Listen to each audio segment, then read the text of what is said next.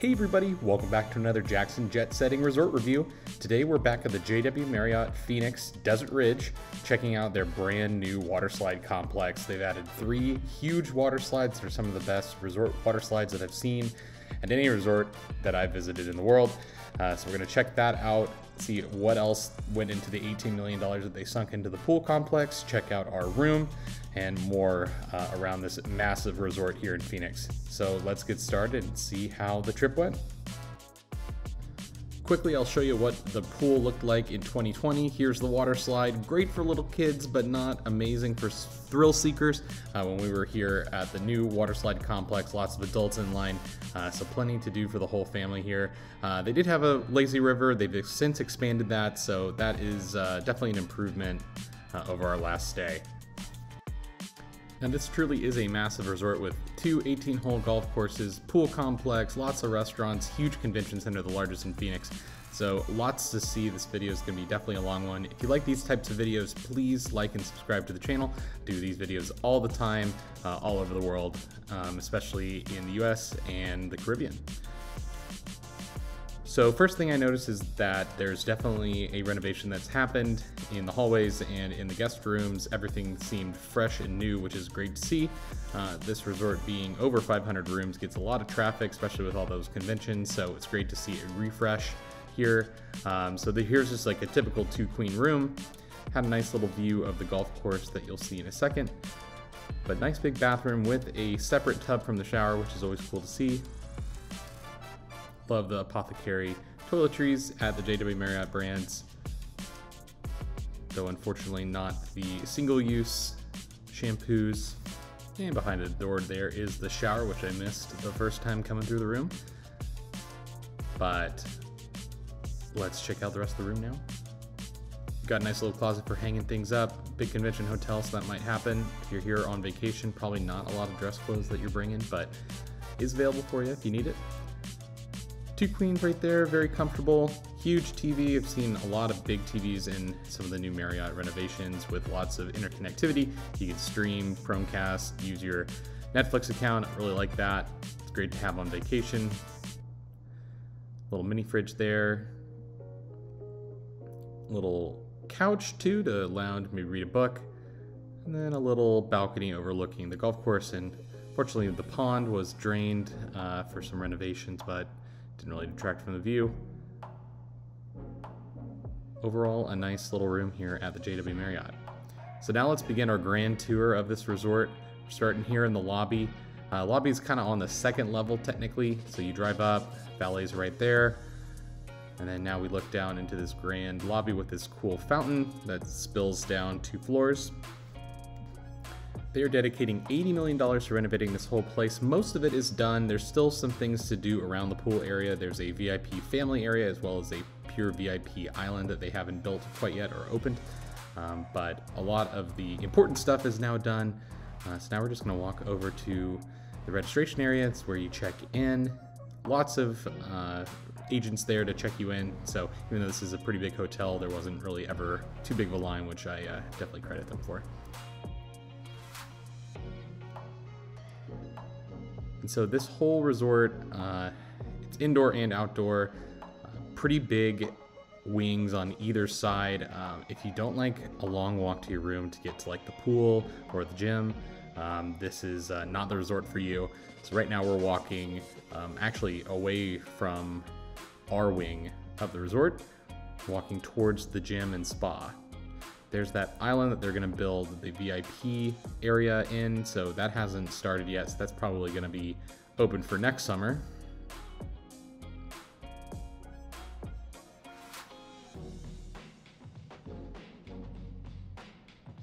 But absolutely love the look of this place. I think they've done a nice little refresh.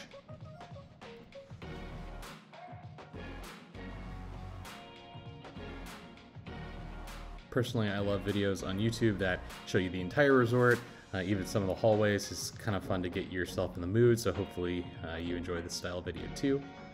So now we're gonna check out the spa and fitness center area. So the spa does have a pool that I wasn't able to shoot on this trip. Even if you're not staying at the resort, you can get a day pass for the spa and obviously use the pool, so that is an option for locals. or if you're staying nearby, want to save a little bit of money. Uh, unfortunately, this resort uh, does have a $55 per night plus tax resort fee.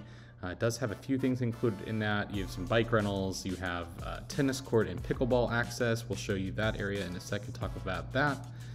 Uh, they do get one free dessert each day at one of the restaurants. Uh, we were able to get that to go, and we'll show you that in a bit when we pass that restaurant. Um, so that was about a $15 dessert that we got for free. But overall, a lot of payment for not a lot of benefits, or something that probably should just be included in your resort stay. Um, I'm not a big fan of resort fees and try to avoid paying them whenever possible, but even on a stay like this on points, Marriott does charge us the resort fee, which is a little different than Hilton or Hyatt, unfortunately. So now we're making our way to the fitness center area.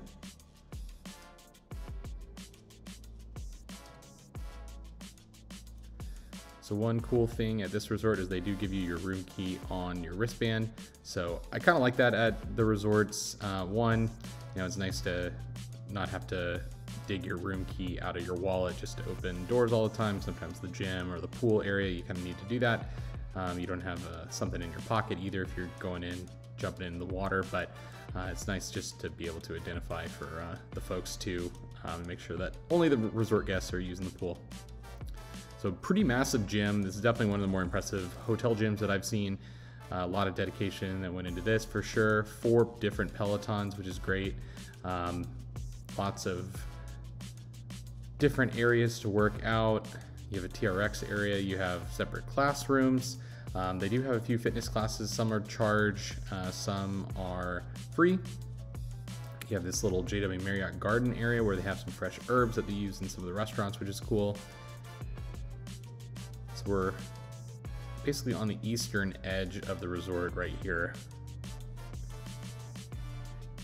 We got a lot more to see, so we're gonna keep moving.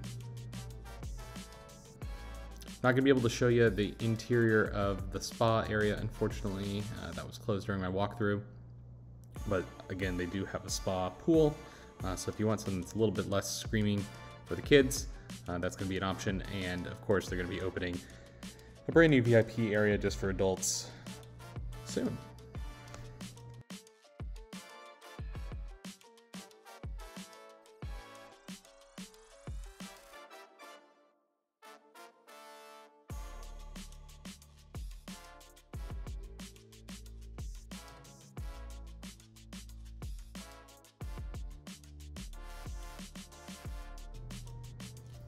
So they do have a little spa bistro. You don't have to walk all the way to the main part of the resort to go get food because that would be a 15 minute walk and not very relaxing.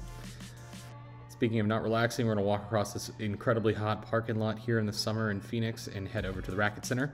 So the last time we were here, uh, pickleball really hadn't taken off quite yet, um, but Desert Ridge has definitely gone all in on pickleball. Still have some tennis courts, um, but a lot of them have been torn out and they've added dozens of pickleball courts, and one of the pro pickleball teams actually plays out of here. They had a pro pickleball tournament here. Um, so this is definitely pickleball mecca here in the Valley. Uh, definitely a cool option for those that are into the sport. Uh, so we're gonna go check out the racket Center and uh, see what it looks like.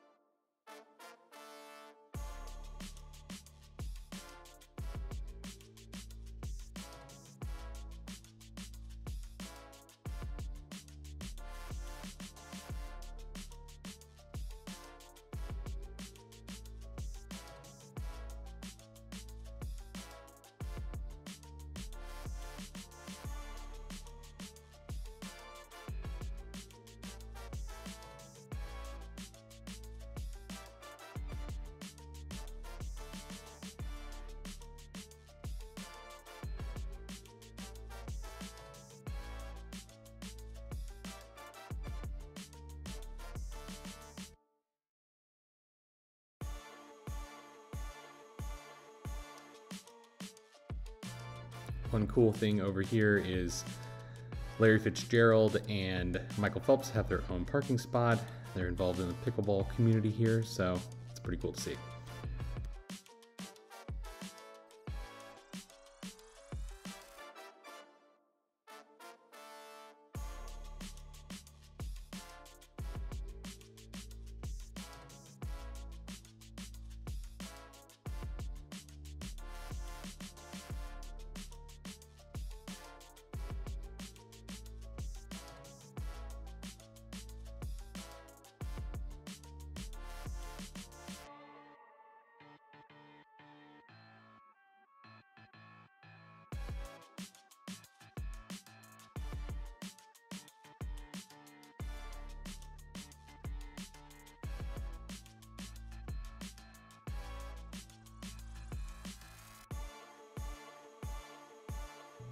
One cool thing is they actually have a pickleball center court. So instead of four pickleball courts taking up the size of uh, one tennis court, they have just one huge pickleball center here. That's pretty cool to see. Awesome uh, if you're out here for a tournament, seeing some of the big pickleballers, which I personally don't know any, but for those that are really into pickleball, this is your spot. There's a little center here with restrooms and a little to-go cafe, anything you might have forgotten for your racket sports. So that is an option here. This is also where you rent the bikes for your resort fee. Uh, so you, you have plenty of trails around, uh, lots of um, sidewalks and streets. Um, we did this the last time we were here and there's some undeveloped land that you can ride the mountain bikes on. So uh, not a bad place actually to do that. Uh, a little flat, but uh, you know, here in the summer, um, flat's not bad.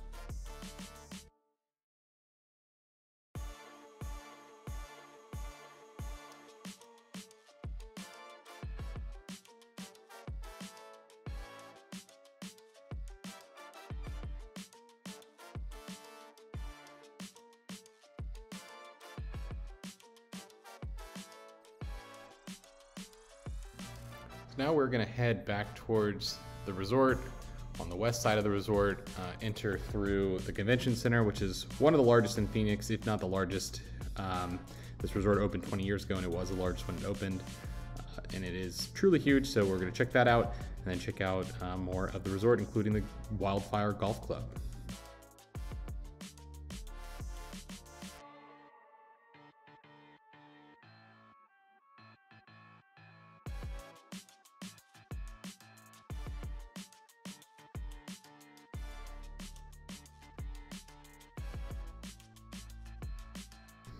Now, if you are self-parking here, it is $22 per night for resort guests. Uh, valet is a little bit more. That is your self-parking lot right there. So if you self-parking your car, you park right there, walk through the ballrooms here, up the escalator, and then you're at the resort again. Then you got to find your room.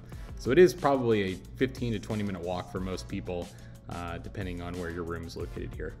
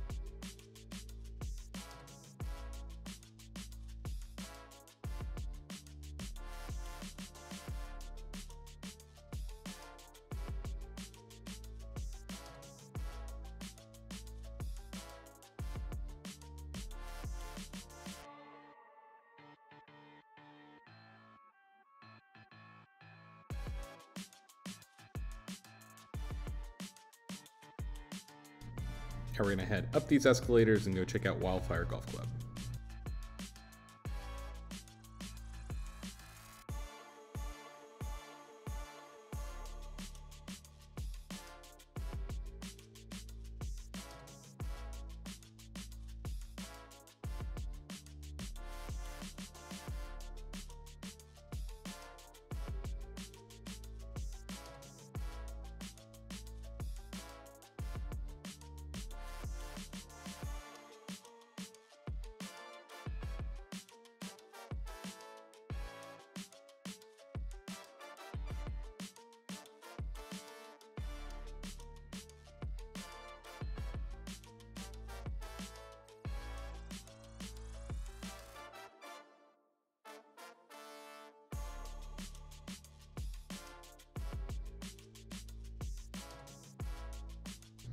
Your resort fee does include access to the practice facilities here at Wildfire Golf Club. So if you do have your clubs but you don't want to play golf, or if you just want to hit some balls, that is an option for you. They do have a practice green as well. So something kind of fun to do, um, especially as a family if you want to go try out some stuff.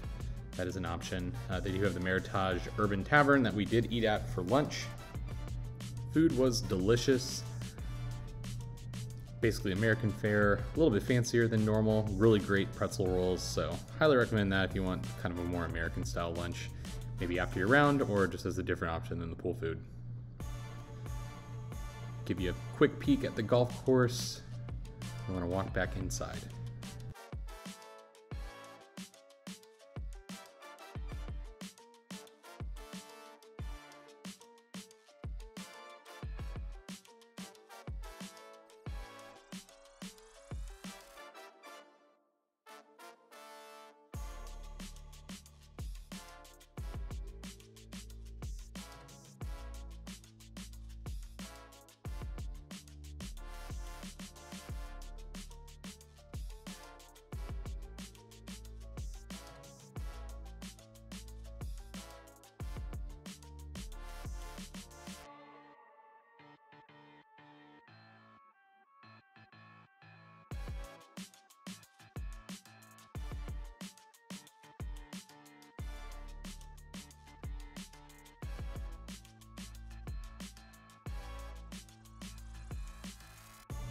Now, as I mentioned, this is a gigantic convention hotel, so lots of space for big convention gatherings, especially in the winter when it's a little bit nicer outside. So, this big event lawn, uh, good for weddings as well.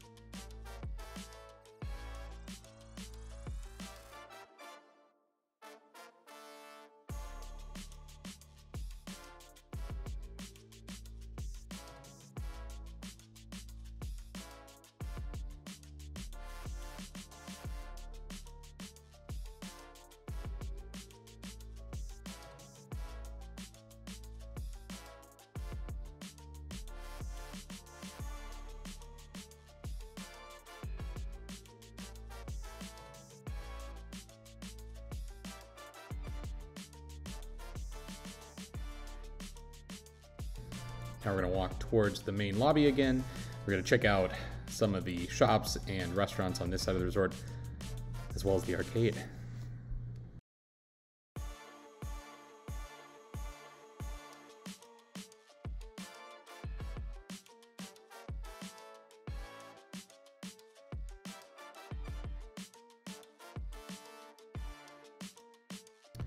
trying to figure out what used to be where the arcade is now.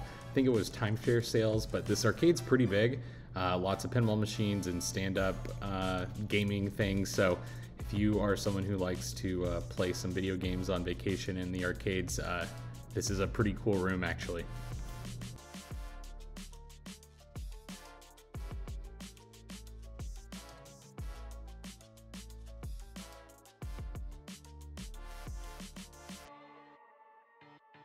Now walking out of the arcade, we're gonna head it back to the other side here and see the Starbucks as well as the FedEx Center. So if you need to ship anything, if you're here on a convention, there's that. Starbucks, pretty standard. Gets a long line during the day, of course, in the mornings.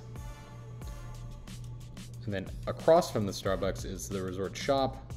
Really nice stuff in there when it was open, but didn't have what we were looking for, like a swimsuit cover up, which was a little interesting.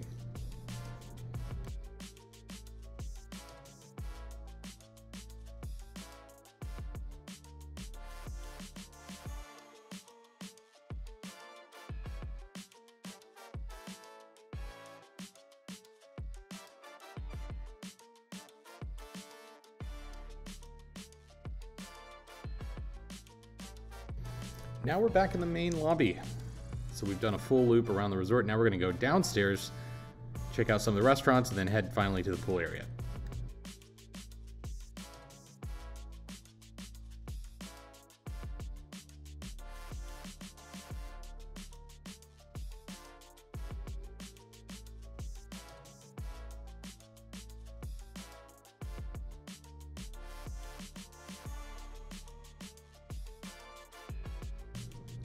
They do have a lobby bar here, 26, I believe it's called.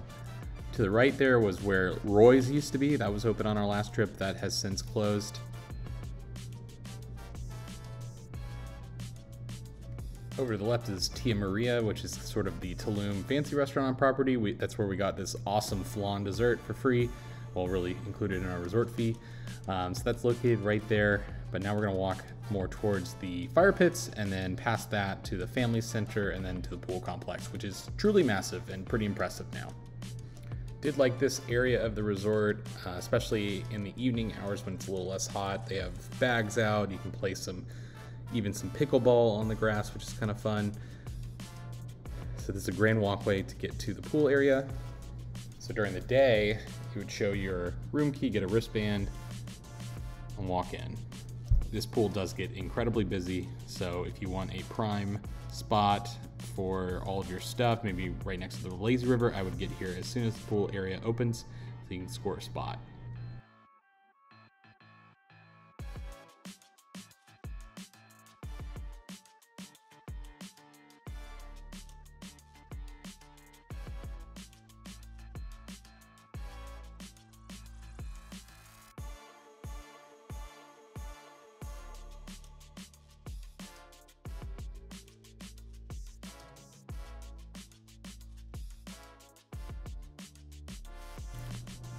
So to the left there is Sedona Cove.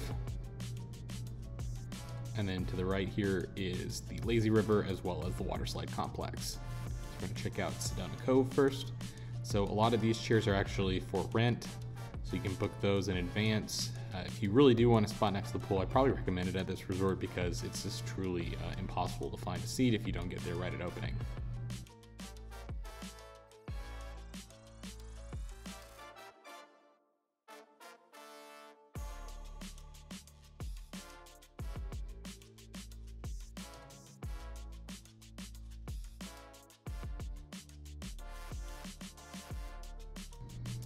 Kids are allowed in most of these areas. Uh, they do have a pool bar as well as a restaurant right here, so it's where you'd get a lot of that stuff.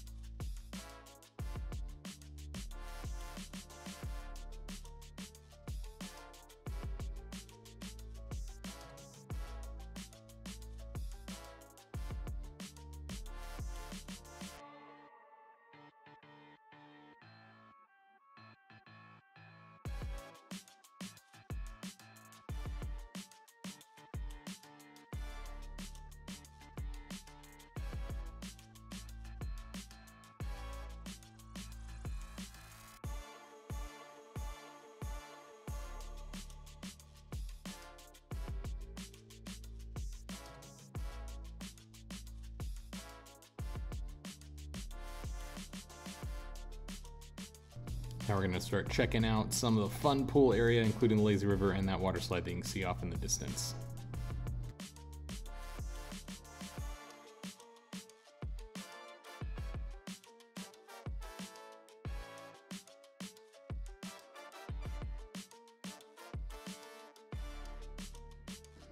So all that construction that we walked around is actually going to be the new VIP family area. So not an adults only pool, but VIPs for families. So something that you have to pay a little extra for to get in there. Maybe have a little bit uh, more space for your stuff, and then you can still access all the fun stuff over here at the Lazy River. So we'll see what that looks like pretty shortly. It seems like it's almost ready to go.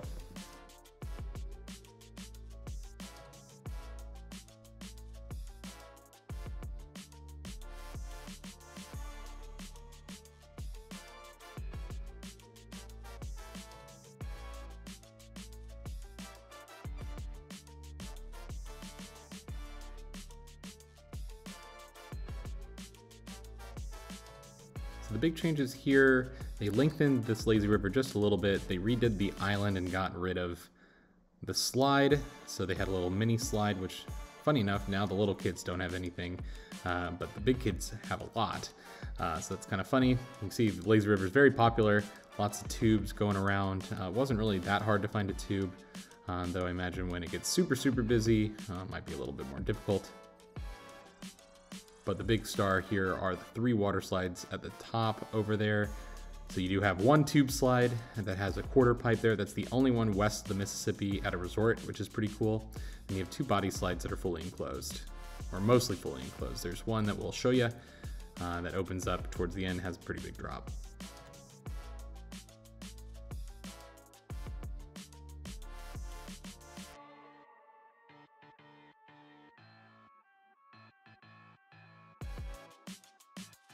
The Lazy River is open from 10 a.m. to about 8 p.m., I believe. Water slides are 10 a.m. to 5 p.m. A little bit of a bummer on a long summer day. Here's the top as I was waiting, so you can check out the golf course there. Nick Faldo designed one, and then Arnold Palmer designed the other one.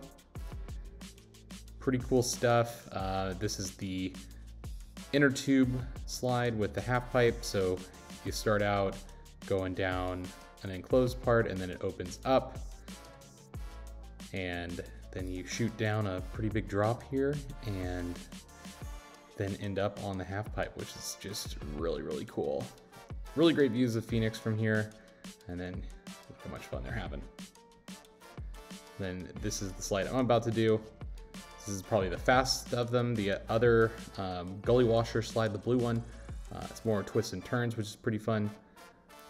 But you take the GoPro down this, big old drop.